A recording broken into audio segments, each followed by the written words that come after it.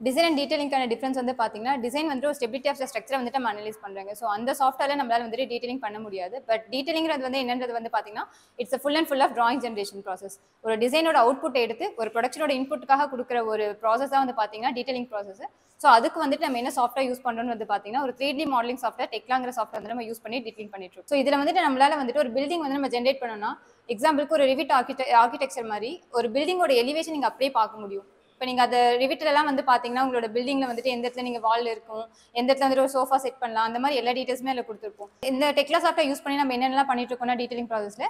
general arrangement drawings shop drawings erection drawings and then வந்துட்டு பார்த்தீங்கன்னா